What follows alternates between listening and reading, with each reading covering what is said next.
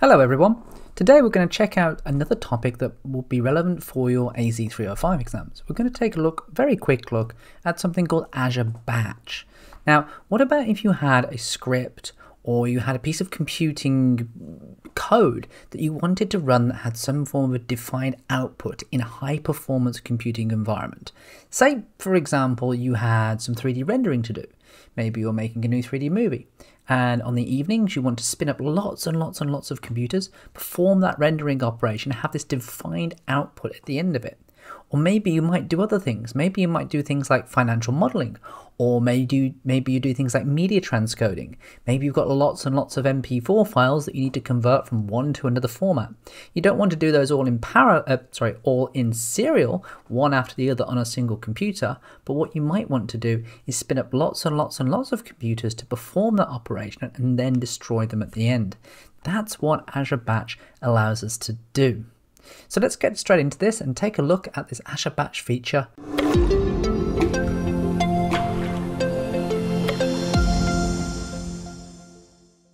Let's do a small whiteboard just to draw this out. So Azure Batch itself is really just a collection of virtual machines, just a collection of VMs, okay? So what you're really doing is you might have some code that you want to run. Say, for example, you had some Python code um, and that Python code might be running something that you need to produce a financial model for. So this Python code or this PY code uh, we want to, for example, execute this, and when it does execute, we get a defined output. Maybe that output would be something like a CSV file, or maybe it's something like a JSON file, something along those lines. But this Python code here can be run multiple times on multiple systems. So what we could do is we could create an Azure batch pool. And within this Azure Batch pool, we could essentially specify a virtual machine of a specific specification and we could define multiple of these to actually come up. Maybe they've even got custom images built into them. This Azure Batch pool, we can then go and feed our code into something like this Python code fire it at all of these virtual machines in one go. Have all of these virtual machines compute and process that code and maybe drop their outputs once their code is completed to some sort of central storage account within the infrastructure. And maybe that storage account is going to have our outputs on it. The advantage of something like Azure Batch is the fact that this can be scaled to as big as you want.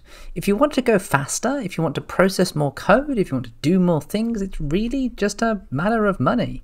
If you've got more money to throw at the problem, you can complete that problem faster and more efficiently and get the output sooner than you would if you didn't have as much money to spend. Azure Batch is actually very simple to set up, so let's go straight and have a look at setting up a very simple Azure Batch pool and running some code inside one of these Azure Batch pools. So I'm over here on my Azure portal and what we're going to do is we're going to start to look for Azure batch accounts up here. So we're going to go into batch accounts at the top. Remember in Azure, just use the search button at the top. It's much easier to find things. And we're going to create a batch account, a very, very simple one. So in this batch account, what we're going to do is we're going to use an existing resource group that I've got down here. I've got an AZ305M2 and my batch account name, this needs to be unique inside Azure. So for example, my batch account is actually already taken because it's connected to a URL at the end of this. We can see it's connected to eastus.batch.azure.com.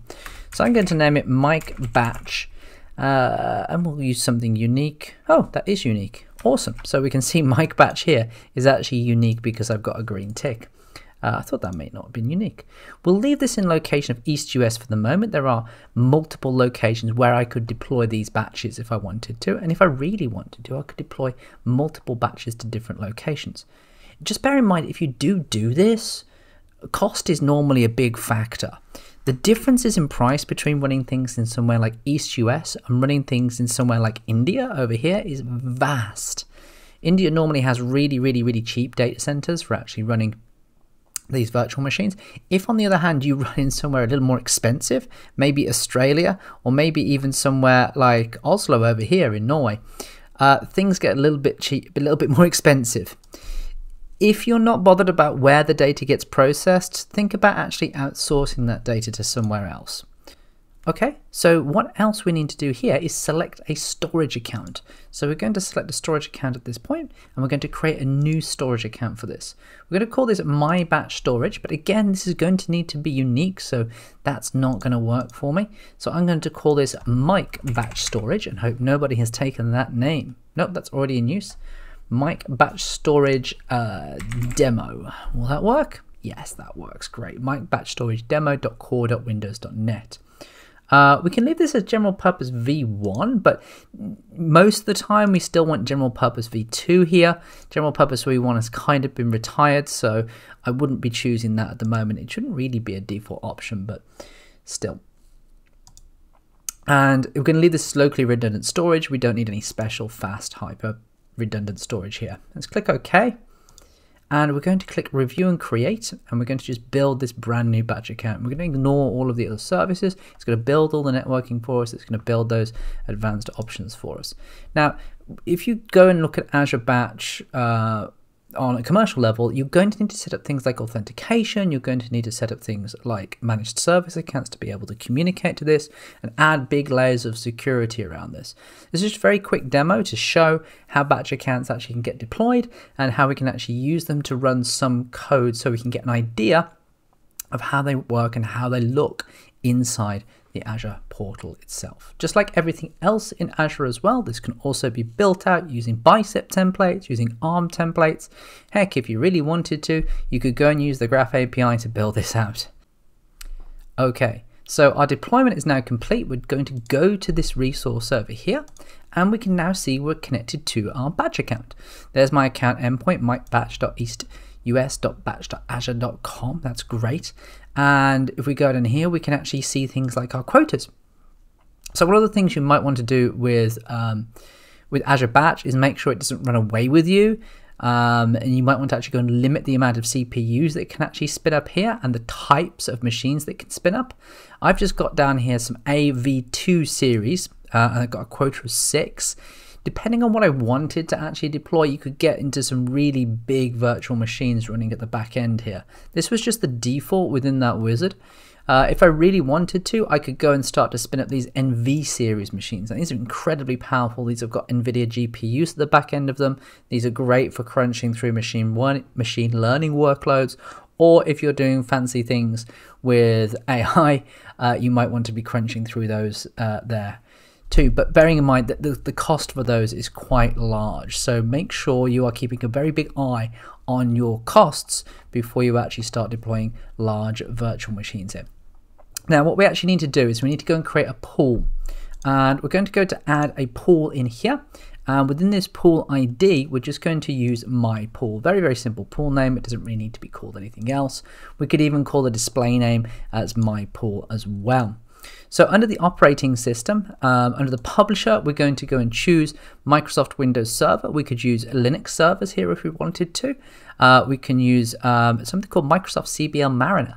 Uh, this is actually quite interesting. If you go and search for micro, whoops, Microsoft Mariner here, notice this is Microsoft Mariner Linux. This is Microsoft Linux operating system. It's used in a few locations in Azure to do various different things, but it is actually an internal Linux distribution for Microsoft's cloud infrastructure and edge products. Linux developed by Microsoft, and we can use it down here if we want to. But I'm just going to select Windows Server, just basic Windows Server, and we're going to use here uh, 2019 Data Center Core uh, with a small disk, so the smallest possible Windows Server we could use. And we're going to scroll down to this OS disk storage down here. And we're going to make sure this is on. Change it from premium LRS to standard LRS. Actually, you know what? Since this is a demo, I'm going to leave this on premium LRS for the moment so it runs a little quicker. That's fine. And the node size itself, let's have a look. This virtual machine size, what are we going to use? We're going to use some standard A1 machines. Now, again, the faster the machines, the the faster this process is actually going to work. Uh, if I want to use standard A1s, that's fine. In fact, I'm just going to leave this on uh, DS2, um, D2S V3 machines for the moment, two vCPUs and 8 gigs worth of RAM. I should have a limit for that. And then underneath our scaling options down here, let's scroll down a little bit further. Where are we? Uh, do, do, do, do, do, do, do. Scaling options, there we go. We are going to do targeting for dedicated nodes, two dedicated nodes here at the moment. So it's only going to spin out just two virtual machines for me. I could get a bit further than this if I wanted to. I could even use spot or low priority nodes if I wanted to be really um, uh, re really worried about cost and actually bring that right down. If you haven't seen my video on spot nodes, uh, go check that out. Uh, how to save lots and lots of money in virtual machines, and you can you can knock off like 80% of the cost of a virtual machine if you use spot nodes down here. So we're going to accept these remaining defaults down here. We're going to leave all of these node placements to regional. We're going to leave all these uh, inter-node communications to no. Uh, we don't need them to talk to each other. That's fine. Uh, I'm just going to say I already have a Windows license as well because I'm using this all for testing. And we're going to select OK. And that's going to build out my pool. Uh, once that pool is built out and ready, we can actually go and create a job and fire a job against that pool. So that's going to take just a couple of minutes to resize that um, resize that machine and make sure that's ready. While that's getting along, we can go into jobs and in here, we're going to go and create a job. So let's go and add a new job. And within this jobs page, we're going to use the job ID of my job. Uh, we're going to use something very, very simple here. It doesn't matter. I could call it whatever I want. And on the pool, I'm just going to select the pool that I've just created and hope it's there. Yep, it's there. It's still allocation stage of resizing, so it's still getting going, but I can select it at the moment. So we're going to OK that. So we have a job called my job inside here. And inside this job, what we're going to do is we're going to drop into it and we're going to go and create a task inside the job. We're going to give this something to do. So I'm going to go to add on here and in this task, we're going to call this task my task. This is where we actually give it the code, the things that we actually want it to do. So we could do some fancy stuff down here. We could run some Python. We could go and run some installations. We could go and set this image up. We could do all sorts of fun things down here. But what I want to do is I just want to run this very, very simple command. That's all. The command is going to say set AZ batch and timeout and timeout 90 is equal to null. That's all. Uh, this isn't actually going to do anything uh, but what it's going to do is it's going to produce a very simple standard output for me on here. So this is code that's running on each of these VMs and it's going to do this for 90 seconds and after 90 seconds that code's going to complete and it's going to end the job task on here. So let's scroll down here and click submit. What we can also do is we can set up multiple tasks as well if we want to run them in uh, run them one after the, the other. So if I take another task called my task 2, use the same code inside here and actually submit that, what we've now got is we've got two active tasks, one going to run after the other.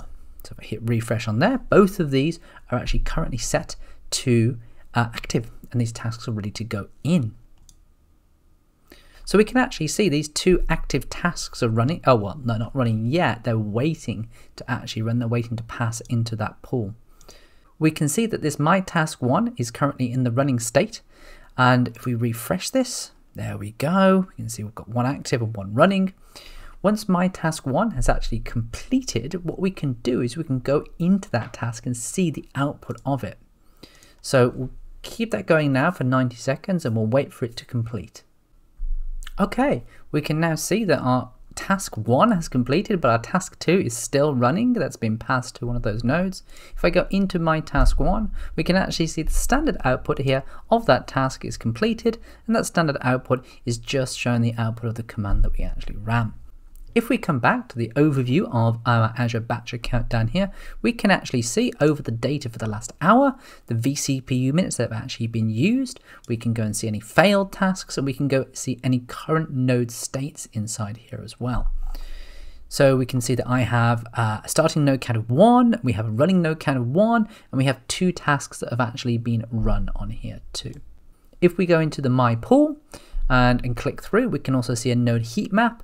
My two nodes here are currently set to idle. Uh, that's because those tasks have actually just completed uh, and have run onto my machine, and run on those machines already.